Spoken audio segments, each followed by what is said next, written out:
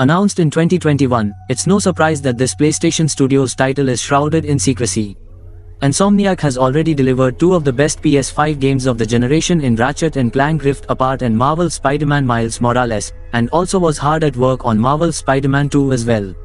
That hasn't stopped Marvel's Wolverine from being one of the most exciting upcoming Marvel games though. Thankfully, it does appear that development is beginning to ramp up, with Insomniac's senior cinematic animator recently revealing that they had shifted their attention from Marvel's Spider-Man 2 to Wolverine. Marvel's Wolverine is a story-focused action offering from Insomniac Games that's currently in development. Revealed back in 2021, the title will let you assume the role of Logan, the iconic superhuman from the X-Men franchise. We've not heard much about the game since then, but we may get more details soon now that Marvel's Spider-Man 2 is nearly upon us. Though we don't have many concrete details yet, it seems likely that Marvel's Wolverine is in safe hands given Insomniac's excellent track record. Responsible for some of the best superhero games out there, not to mention two of the best PS5 exclusives, the American studio has serious chops.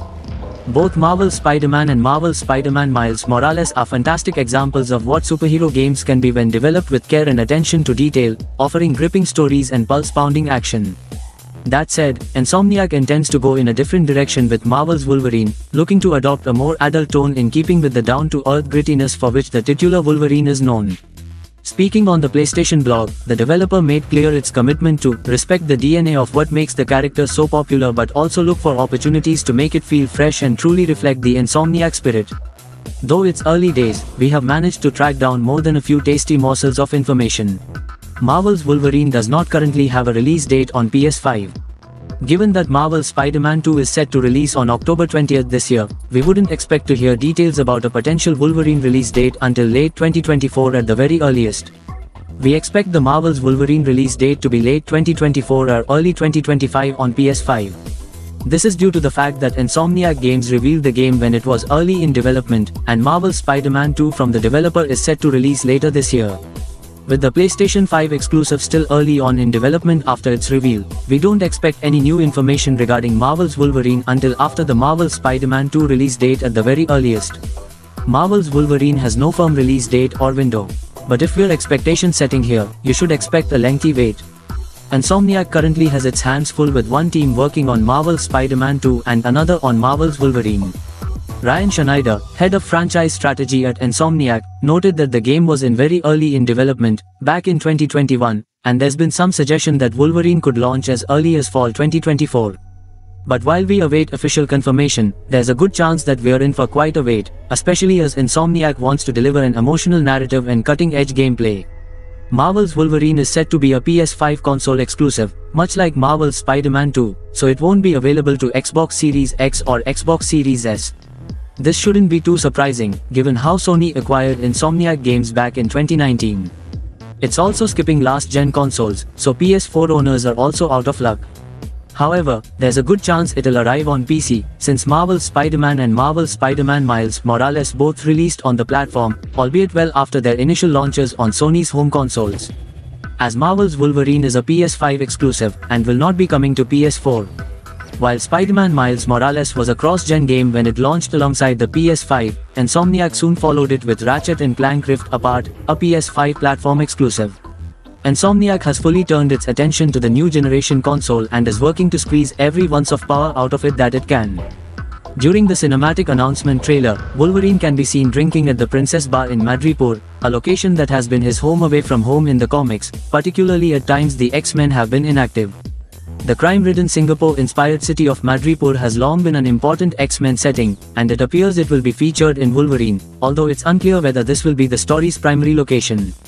The story will reportedly according to Jeff Grubb, take place in the years before Logan joined the X-Men, although it's unclear exactly how far into his long life the story will ultimately enter from.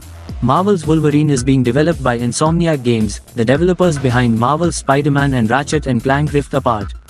The studio has grown tremendously since it was acquired by Sony and integrated into the PlayStation Studios portfolio, giving it the resources to produce multiple ambitious games all at once. Development will be led by creative director Brian Horton and game director Cameron Christian, who most recently spearheaded the creative team for Marvel's Spider-Man Miles Morales. Logan is with safe hands, is what we're saying. The Marvel's Wolverine trailer does make a point of explaining that the images we are seeing are not actual gameplay, but that isn't to say we don't have any idea of how it's going to play.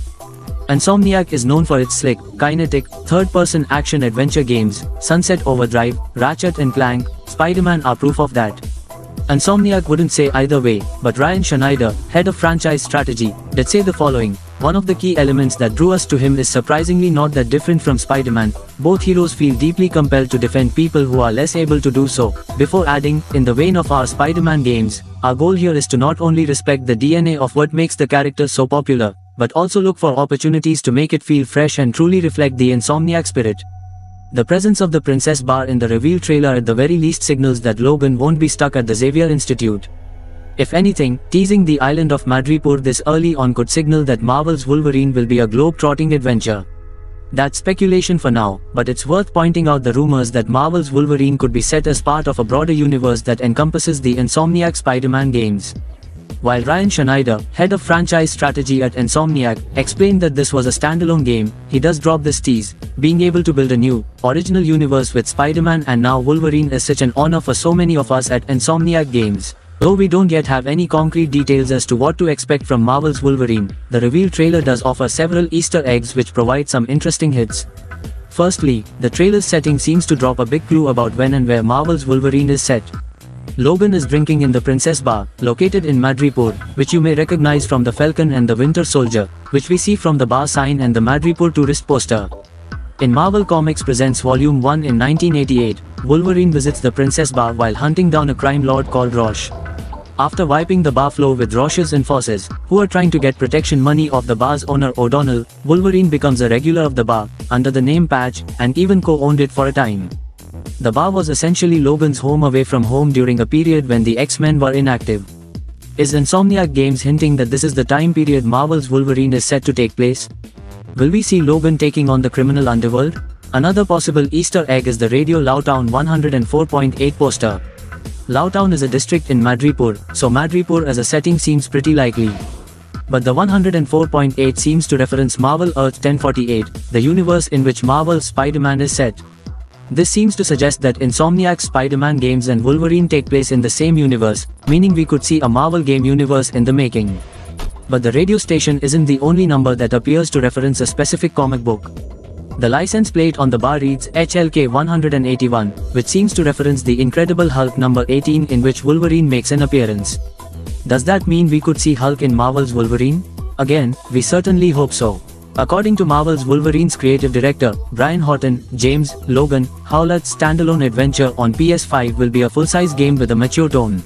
Horton confirmed this in response to a fan on Twitter asking whether Wolverine on PS5 will be big or a smaller Miles Morales size game. In a PlayStation blog post, Insomniac Games revealed that Marvel's Wolverine is being directed by Brian Horton, creative director, and Cameron Christian, game director, who led the creative efforts on Marvel's Spider-Man Miles Morales. Insomniac Games has said that, while it intends to honor the DNA of what makes Wolverine popular, it will be putting its own fresh spin on Weapon X. In the vein of our Spider-Man games, our goal here is to not only respect the DNA of what makes the character so popular, but also look for opportunities to make it feel fresh and truly reflect the Insomniac spirit, Insomniac Games wrote in a PlayStation blog post. According to the developer, despite being in early development, Marvel's Wolverine boasts an emotional narrative and cutting-edge gameplay. Although Insomniac has yet to announce a rating for Wolverine as development is still in the early stages, Jeff Grubb previously stated the studio is aiming for a hard R tone where Logan's claws are gonna work as claws, so it appears Insomniac is looking to make a Wolverine game that embraces that character's violent and gory nature, likely pointing toward an M for mature rating. An actor has yet to be announced to play Logan in Wolverine, but one popular choice already revealed he has not been contacted, that being the character's X-Men the animated series voice actor Cal Dodd. Many have speculated the role may go to Steve Blum, who has played Wolverine across animation and games in likes of Midnight Suns, Wolverine and the X-Men, Ultimate Spider-Man, Avengers Earth's Mightiest Heroes, and countless more. Then again, when Insomniac chose Yuri Lowenthal to play lead Spider-Man, the actor had only played the role twice before in minor games, compared to more experienced Peter Parker actors such as Josh Keaton and Drake Bell. So, for now, there's no telling who may land the leading role for Wolverine. To once again quote the renowned Jeff Grubb, via Morning Games mess, Wolverine reportedly probably won't be open world, but will instead have something closer to open sections of a world, akin to those featured in other major PlayStation titles such as God of War. This could see Logan explore a variety of slightly more restricted locations as the story progresses, unlike Insomniac's three Spider-Man games which have all gone for the open world approach. As of now, Insomniac has not confirmed any of the villains Wolverine will face in his upcoming solo game, but fans can likely expect him to cross paths with an assortment of his most famous antagonists, just as they did with Spider-Man. Sabretooth, as Wolverine's archenemy, will almost certainly be featured, with the likes of Silver Samurai, Lady Deathstrike, and William Stryker also among those who might make their way into the Insomniac game. According to Jeff Grubb, Wolverine will reportedly take place before the Adamantium mutant joins the X-Men. With the game also set to avoid any sort of links or anything that sort of evokes the Fox movies. He added that while he isn't completely certain, the game may take place before he knew any of the heroes who would later become his X-Men comrades. Based on this, it seems unlikely Wolverine will include any of the X-Men, with the game instead expected to see Logan stand on his own. The PlayStation blog has already confirmed Wolverine and Spider-Man will share one universe, with developer Insomniac describing the honor of getting to build a new, original universe with Spider-Man and now Wolverine. As Wolverine will only be the first expansion in this universe beyond the Spider-Man series, one has to wonder whether he may show up in this year's Spider-Man 2 to tease his solo game, even if that only comes in a post-credit scene. Insomniac's Spider-Man already alluded to a larger world of heroes in this universe with the appearance of Avengers Tower in its open world.